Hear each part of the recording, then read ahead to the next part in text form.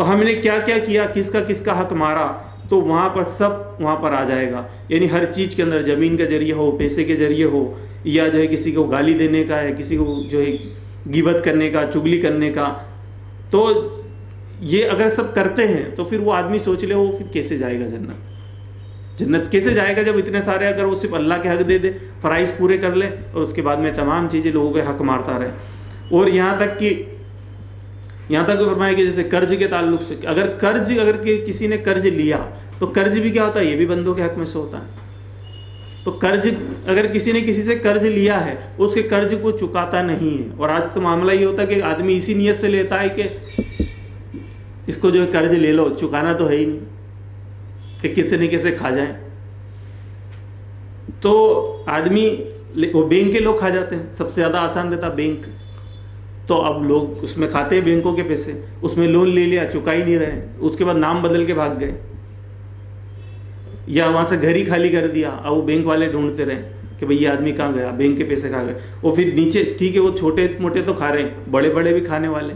और वो तो हज़ारों लोगों का पैसा गबन करके भाग जाता है हज़ारों करोड़ रुपया, कितने सारे केसेस हुए, वो भाग जाते। हैं तो ये कर्ज कर्ज के ताल्लुक से ये है कि अल्लाह के रसूल सल्लम फरमाते हैं, ये सही निसाई की रिवायत है, हदीस नंबर चार हज़ार छः सौ अट्ठासी।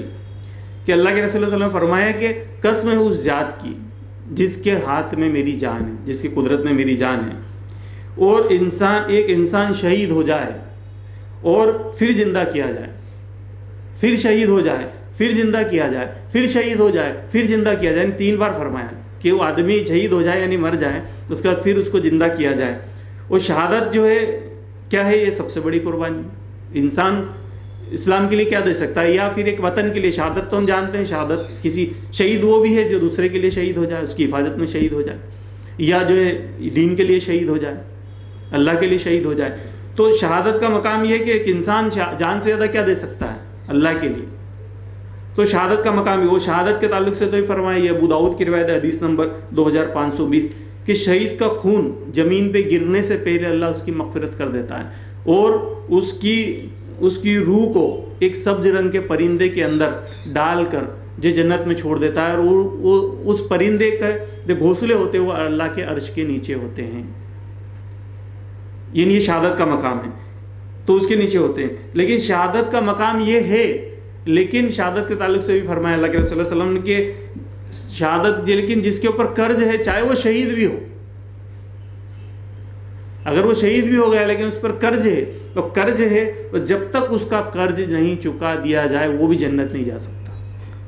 अब आदमी ये सोचे कि दुनिया के अंदर वो किसी का पैसा खा जाए, या बैंक का ही खा जाए, उसका लोन गबन कर जाए तो फिर वो कैसे जा सकता है? जबकि शहीद नहीं जा पा रहा। शहीद के ताल्लुक से उसकी जान दे दी उसने दीन के लिए तो वो भी नहीं जा सकता उस पर कर्ज हो, जब तक उसका कर्ज को चुकता ना कर दिया जाए।